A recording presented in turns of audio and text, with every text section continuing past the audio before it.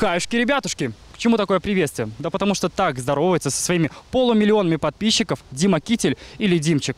Почему такая огромная аудитория заинтересовалась 16-летним парнем? Давайте узнаем.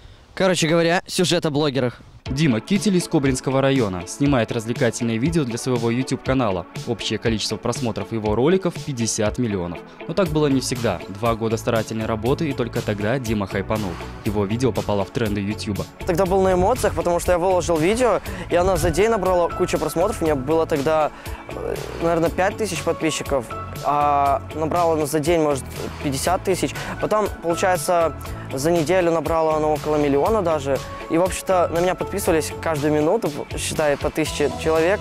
Из полумиллионной аудитории главным зрителем и критиком у Димы остается его мама. К увлечению сына отнеслась спокойно, хотя и не верила, что на это можно заработать и стать популярным. Вот бабушка моя разбирается, я ее научил, короче. Получается, показал, что такое YouTube, у нее появился ноутбук, и она начала смотреть его, смотрит мои видео там. Получается, следит за моей статистикой канала, и все, мне рассказывает, что сейчас в тренде, что не в тренде. Я просто, мне иногда некогда, учусь там.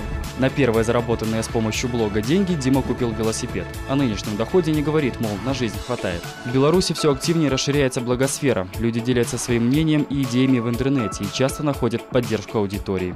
Такой стартовой точкой входа в благосферу является умение генерировать контент в любом виде. Это может быть фотоконтент, это может быть текстовый контент, это может быть видеоконтент, аудио, неважно. Человек должен уметь доносить свою мысль. Блогер своего рода эксперт. Разбираться во всем ненужном. Следует выбрать определенную тему и сосредоточиться на ней, а также понять, кто ваша целевая аудитория. Безусловно, есть люди, которые стремятся э, стать блогерами для того, чтобы быть в первую очередь популярными. Ну, по моим наблюдениям и опыту, это характерно более молодым блогерам, более молодой аудитории.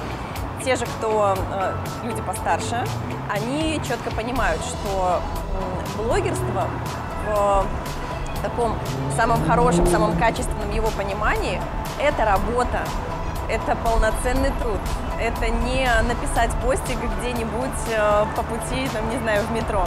Как определить блогера? Человеку всегда есть что сказать. Важные критерии – постоянство и большая аудитория. Но формулы успеха как таковой нет. Главное – вкладывать в дело свою душу. Сегодня валюта в сети – эмоция и искренность. Познакомились с блогерами Иван Кличковский, Александр Зонов, Михаил Христофоров. Наше утро.